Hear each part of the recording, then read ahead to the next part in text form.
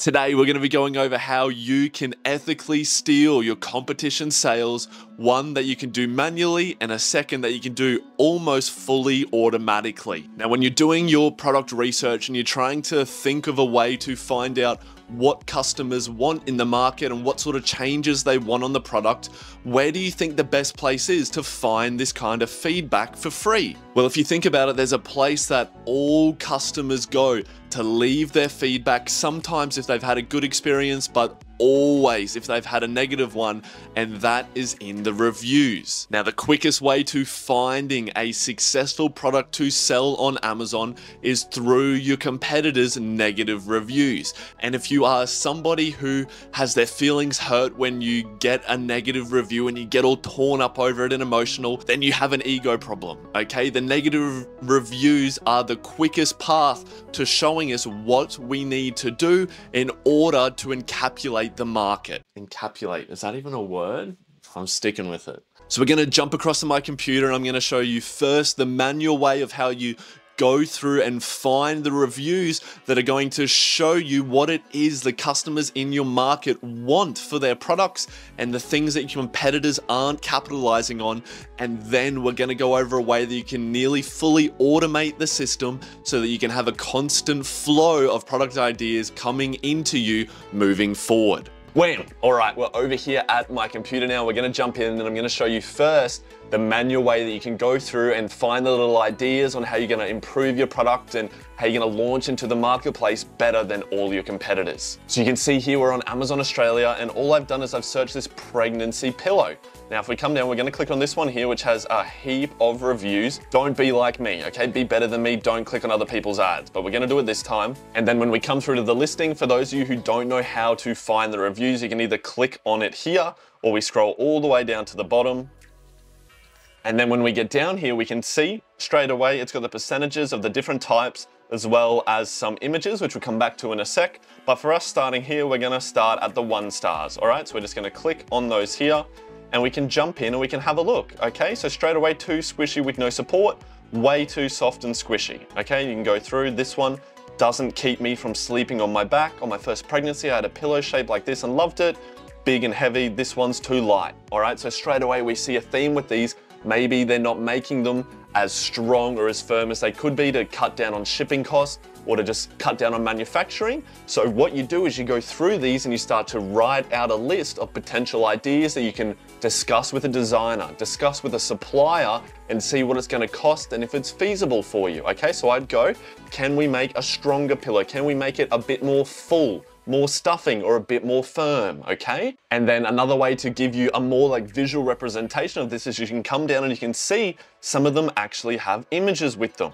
So you can click in and you can see this lady or this man showing here how some of them, like we said, it's not properly filled, okay? So you can see those squishy spots. They're saying the quality is not appealing, so we definitely wanna have that point down, okay? And the reason you also make a list is because these things are the, are the specifications that you want to put into your listing for your bullet points, for your EBC, right? So you could write there right up the top, our pillows are full, our pillows are more firm than all our competitors. Or maybe you have an image that has yours and then other brand and you're showing theirs being floppy and yours being firm and supportive. Okay, so you build this list and then when you're going to do your bullet points, you don't have to start from complete scratch. Okay, because you already know what it is that your customers are going to be looking for and what they want, and you've got a list right there of all the perfect conversion points. So you'd go through here, it seems the general theme is just that it's not a super high quality pillow. You'd be able to go through each one manually and just be looking for certain keywords or having to read the whole thing, which I know can take some time. So in one sec, I'm now gonna show you how we do it automatically. Well, quick 10 second break. This Monday, the 14th, is the cutoff for the entry into our Amazon Australia Accelerator program. If you want to launch a product onto Amazon Australia with coaching from me every single week, then this will be the last chance for you to get in. It's the last one we're running for quite some time, so I've made it accessible to so many more people. So if it's something that interests you, I know it's not for everyone, but it's the first link down in the description. Go check it out. Now let's jump back to my computer. Alrighty, so the way that we can sort of automate it a bit more and have it a bit easier and more digestible for us to read is actually through using a tool in ZonGuru. Okay, now I talk about ZonGuru all the time here on this channel. It's a product research tool amongst many other things for Amazon. If you don't have it yet and you want a mad discount, we have a link down below that they've provided for Australians wanting to get in there and selling.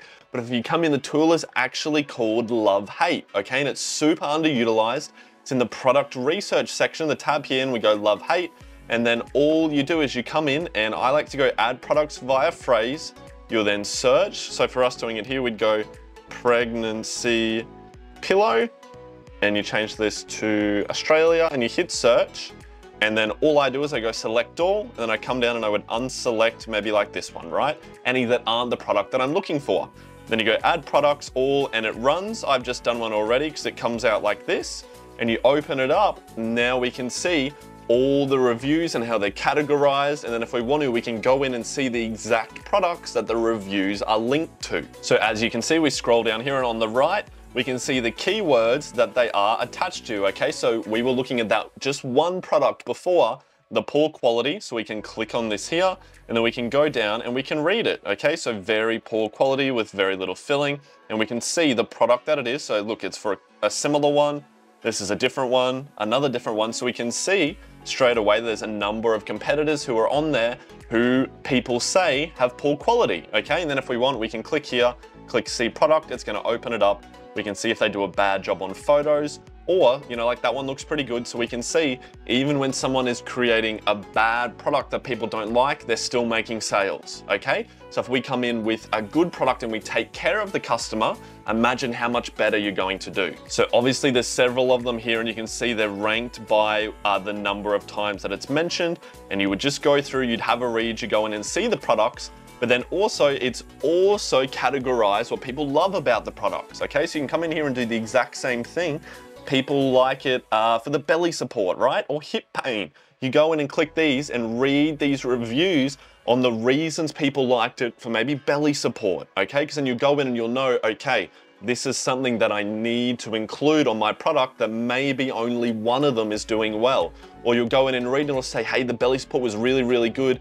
I would love it even more if maybe it had a strap or a little handle or anything like that, right? So all you have to do is set it up when you've got a couple of product niches that you're looking at, have ZonGuru run them while you're off doing other things, come back and check them, and then you'll be able to start, again, writing down a list of particular ideas for you to go talk to a designer, talk to your supplier about and be like, hey, can we incorporate something to make the belly support better? Hey, can we make it so that the quality is a bit better? Okay, so it lays it all out for you so that you immediately know the way that you can take care of the customers that your competition isn't. So there you have it guys, I'm so so proud of you for taking this extra step and learning this technique that not a lot of people know about, okay? So you get to go in and find those great product ideas. If you're wanting to launch a product on Amazon, I have this playlist coming up here which shows you every single step that you're gonna need in order to launch a product on on Amazon Australia. It's here on YouTube for free, or I think this video is also gonna really help you out. But you guys did so, so well today.